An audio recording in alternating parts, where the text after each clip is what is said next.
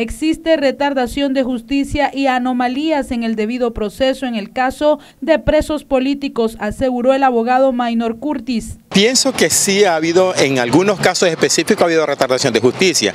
En otros casos, este, lo que ha habido eh, una violación al debido proceso, a veces, eh, pero ha sido un patrón desde el año pasado de que una vez que son escarcelados se reprograman y se reprograman y se reprograman y en un momento en que sale, salió en el año pasado, por ejemplo, la amnistía. Entonces yo considero que a lo mejor es la misma, la misma táctica o la misma, el mismo patrón del año pasado el gobierno va a empezar a reprogramar, a reprogramar, a reprogramar, hasta que finalmente a través de un acuerdo por decisión propia del presidente de la República firme otra ley de amnistía donde ya los, los libere. Pero esto es un proceso que se da exclusivamente en los muchachos, en los presos políticos, que aunque los conocemos como presos políticos por su, su participación, pero están imputados de delitos comunes. El abogado afirmó también que el hostigamiento para intimidar a excarcelados ha sido una constante. En el caso particular de las personas que yo represento, que son Amaya Coppens y también Carlos Sebastián Cortés,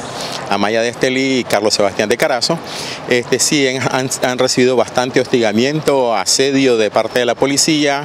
En el caso de Amaya en particular ha sido la policía, han sido personas de civil, a los que le llamamos paramilitares, incluso han tirado hasta bombas de contacto en contra de la casa, de la, entrada principal, la casa de Amaya, y se mantiene mucho esa situación. En el caso de Carlos Sebastián, lo que sucede es que llega una patrulla de policía y se estaciona frente a la casa de él. Ve, este, y eh, eso no es normal en esa área porque es un área rural, es un, digamos, un callejón de una, de una comarca ve, y ni siquiera es un caserío. Entonces, por, una, por un lado entiendo que la policía tiene que tratar de, dar seguridad a todo el país y patrullar todos los lugares, pero el que se está estacionando a la policía pues le causa miedo, él piensa que lo llegan a recoger o que van entrar y lo van a volver a arrestar, que va a regresar inmediatamente al Chipote, especialmente porque ellos salieron por una orden del Ministerio de Gobernación cuando ellos están a la orden de un juez que, el de, que pertenece al Poder Judicial.